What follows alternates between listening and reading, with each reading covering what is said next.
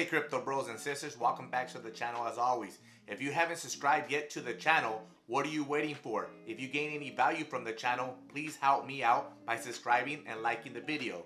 Alright guys, let's jump right into the crypto news. Recent data from blockchain analytics company IntoTheBlock indicates that only approximately 29% of the total Bitcoin supply, which has remained stagnant for five years, guys, might have been lost forever. Bitcoin itself is a rarity due to only 21 Bitcoins that will ever be mined.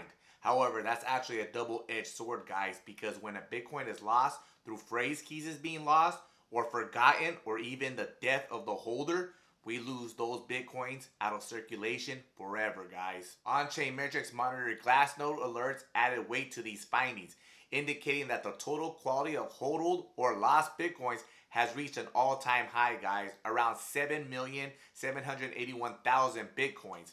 Given the current price of a single bitcoin that's around 30,000, that would be around $235 billion worth of Bitcoin that's going to be lost forever. That's a pretty crazy number, guys. I'm pretty sure, guys, that most of the Bitcoin that was lost was from the early investors.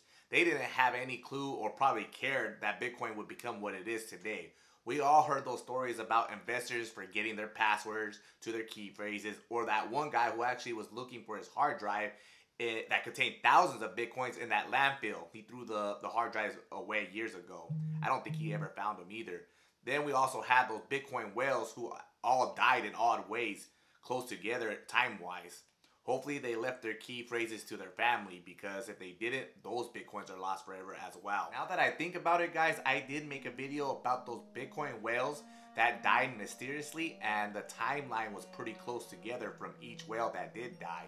Um, but the most interesting fact I got for you guys is that Satoshi Nakamoto, the creator of Bitcoin who holds over 1 million Bitcoins in his crypto wallet, it has not moved guys. It has never moved.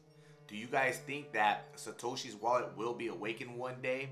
Hope you guys enjoyed this video. Don't forget to follow me on TikTok if you're over there. And if you're over here on um, YouTube, don't forget to subscribe. Talk to you guys later.